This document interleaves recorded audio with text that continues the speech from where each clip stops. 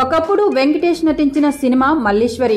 ఆ సినిమాలో వెంకటేష్ పాత్ర పేరు ప్రసాద్. కానీ వెంకీకి వయసు ముదిరినా కానీ పెళ్ళి కాలేదు ఆ సినిమాలో. సరికదా తన పనిచేసే ఆఫీసులో తనతో పాటు మరో ఇద్దరు ముగ్గురు ప్రసాదులు ఉన్నందున వెంకీని అందరూ పెళ్ళికాని ప్రసాదు పెళ్ళికాని ప్రసాదు అనే సంబోధిస్తారు. పైన చెప్పిన టైటిల్ ఏంటి? నేనిప్పుడు చెప్తున్నది ఏంటి అనేగా మీ ఉద్దేశం? వస్తున్నా వస్తున్నా. ఇప్పటి వరకు ఎన్నో సినిమాలు విడుదలయ్యాయి. అందులో మనుషుల పేర్లతో ఎన్నో పాటలు వచ్చాయి. ఒకప్పటి రాములమ్మ పాట విజయశాంతి సినిమా అది మనిషి పేరుతోనే వచ్చింది. మొన్నటికి మొన్న తమన్నా ఎన్టీఆర్ సినిమాలో నిహారిక నిహారిక పాట కూడా మనిషి పేరుతోనే వచ్చింది. ఇలా వరుసగా చెప్పుకుంటూ పోతే ఎన్నో సినిమాలలో పేర్లతోనే వచ్చిన పాటలు ఎన్నో ఉన్నాయి. మరి ఇప్పటి న్యూస్ ఏంటి అంటే ఇదిగో ఇప్పుడు మీరు చూస్తున్న ఈ వ్యక్తి పేరు నామాల కోటేశ్వరరావు. ఈయన్ని ఇప్పటి వరకు వాళ్ళ బంధువులు ఊర్లో వాళ్ళు తప్ప మరెవ్వరూ ఎరిగి ఉండరేమో. అలాంటి ఈ వ్యక్తి ఇప్పుడు సరాసరి పవర్ స్టార్ పవన్ కళ్యాణ్ పైన కేసు పెట్టేశాడు. ఈయన వృత్తి న్యాయవాది.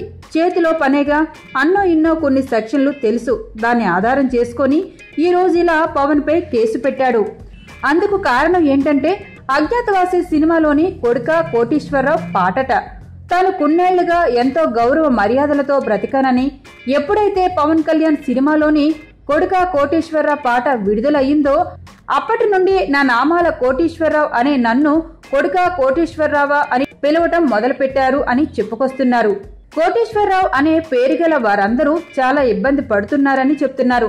వారి గౌరవానికి భంగం కలిగించేలా ఈ పాటను పవన్ కళ్యాణ్ పాడారని ఆయన చెప్తున్నారు. పవన్ కళ్యాణ్ మా మనోభావాలను దెబ్బతీశారని అందుకే ఆయనపై నేను కేసు పెడుతున్నానని చెప్తున్నారు.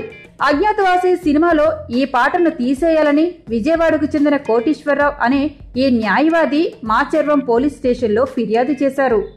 అయినా మనందరికీ తెలిసిన ఒక విషయం. మరి సినిమా ఓపెనింగ్కు ముందు కొన్ని ప్రకటనలు విడుదల చేస్తారు.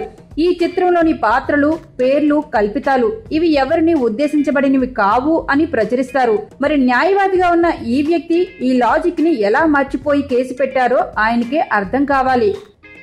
మరి ఈ వీడియో మీకు నచ్చితే లైక్ చేయండి షేర్ చేయండి. మీ కామెంట్స్ పెట్టడం మాత్రం మర్చిపోకండి.